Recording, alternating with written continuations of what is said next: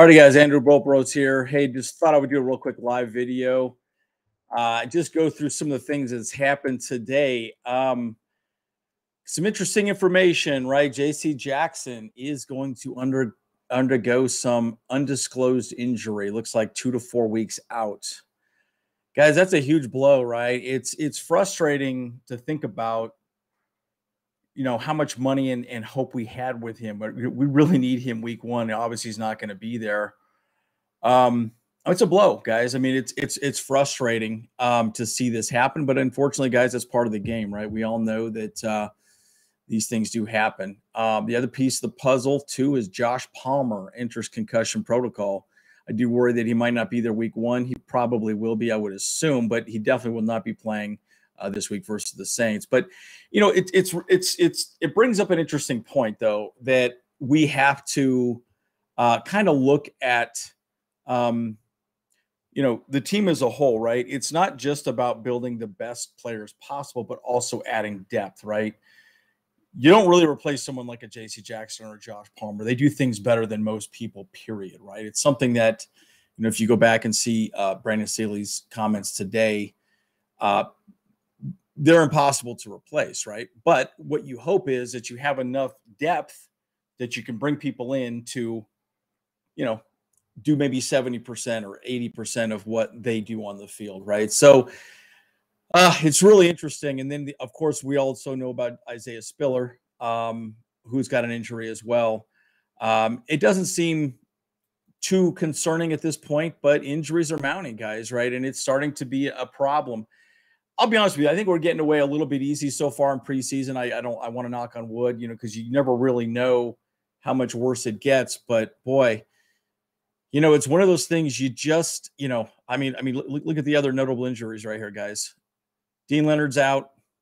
Uh, Mark Webb, Lowe, Gilman, Parham is still struggling. Ty Shelby groin will be out. He actually is. Uh, we'll talk a little bit more about that. Tavon knee, Tavon Campbell knee.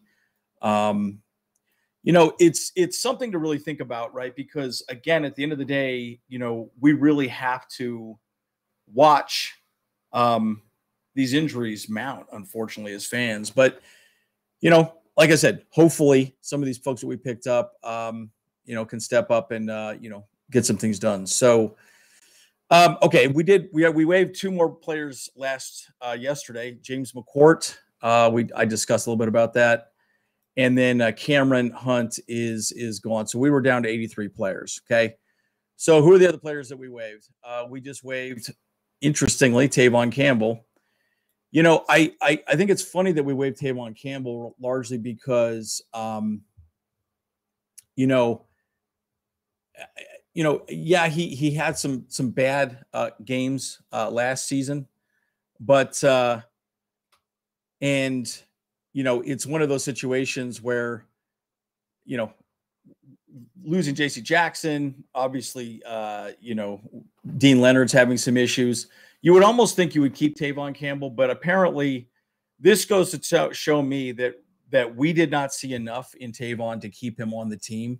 And so letting him go was the best option.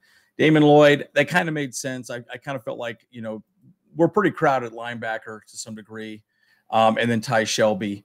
Uh, there were some injuries there that I think they were probably mounting that, you know, okay, it's time to move down to the 80.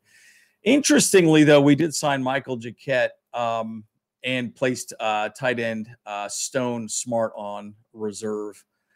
So, pretty interesting situation um, where we stand right now as a team. Um, I was listening to, um, you know, Brandon Staley quite a bit and Khalil Mack, and really just um, uh, Joe Lombardi talking about, you know, the team as a whole. And, you know, he consistently says, hey, Joe Lombardi specifically, I really liked his his words. He was like, "Look, hey, we're we're it's coming together, right? I'm really hoping that we can get it together here pretty soon." So, look, guys, this one's this one's going to hurt, obviously, but uh, the next one's going to be worse. So we're going to be down to 53 players, guys, 53 players, and I promise you, our players that we want uh, are going to be cut. So, guys, let me know what you think. I know this is um, kind of kind of crazy news. Um, you know, losing. Um, JC Jack, well, at least JC Jackson for a short period of time, and then obviously uh, Josh Paul. It's not a tickling contest out there. This is uh this is a violent sport, right? So um, you know, I mean, let me know what you guys think. You know, uh, use this as an opportunity to uh, discuss what you think our coaching staff is doing well and not doing well.